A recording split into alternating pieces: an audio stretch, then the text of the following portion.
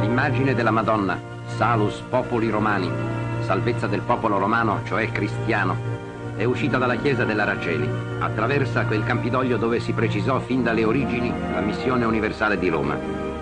Non sarà notte di tenebre questa che precede il giorno di ogni santi, destinato a diventare anche la grande giornata della Vergine. Tra il coro di fiaccole l'immagine procede verso la Basilica Vaticana. Fu sera e fu mattina. Tutte le campane del mondo oggi hanno chiamato il sole, ma non hanno aspettato l'alba i fedeli affluiti fin dalla notte in piazza San Pietro. Ci sono a Roma per questa data della Chiesa 250.000 pellegrini. Il dogma che sta per essere definito suggella tutte le dottrine che la Chiesa ha insegnato su Maria.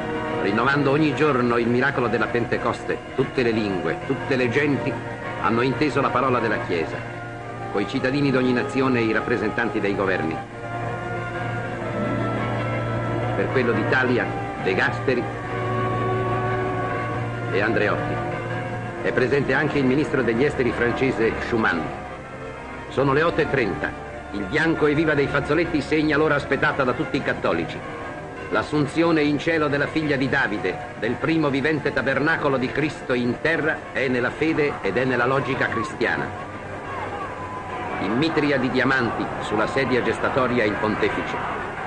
600 arcivescovi e vescovi sono venuti da ogni parte del mondo. Ricordiamo i due ultimi atti con cui la Chiesa lo ha preparato. All'antivigilia il concistoro, nel quale Pio XII ha annunziato il suo intendimento di definire il dogma dell'Assunzione.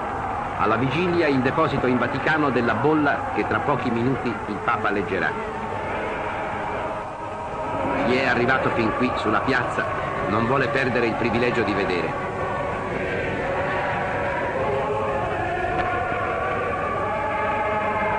È nella fede della Chiesa che Maria, come è immune dalla corruzione spirituale del peccato, così lo è da quella materiale della morte.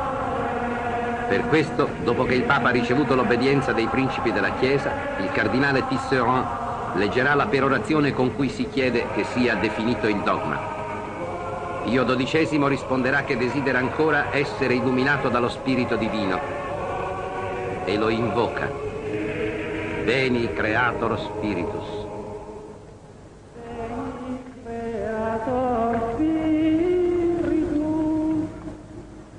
Per ogni nato di donna è suprema consolazione questa certezza che la madre sia stata immune dallo squalore del sepolcro. Il Papa legge la bolla. Pronunziamus, declaramus et definimus divinitus revelatum doma est immaculatem Dei param semper virginem expleto terrestris vite cursu quiste corpore et anima ad in gloriam assunta. La Madre di Dio che è stata assunta alla gloria dei cieli prega per i suoi devoti.